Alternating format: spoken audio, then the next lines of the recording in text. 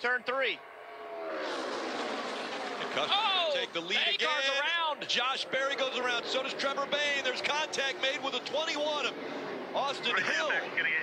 Another playoff driver involved. Did you see the 48 thread the needle between the two spinning cars? Third and fourth. Josh Berry. How much damage is it to this eight of Josh Berry? You see the right rear quarter panel was damaged. Yeah, a lot of damage to the back. The car made contact with the wall, and then again, as the 19's coming off the wall as well, more contact. It looked like Trevor Bayne gets loose on the bottom of the racetrack, chases his car up the racetrack into the door of the eight. So here's the here's the 19. He's loose into the corner, corrects up the track to save that. The 21, big damage on that right front for the 21 there.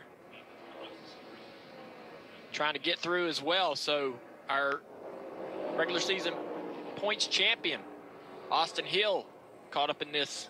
The nine got into the back of the 21, just, you know, didn't do anything wrong. He just trying to, everybody trying to miss the wreck.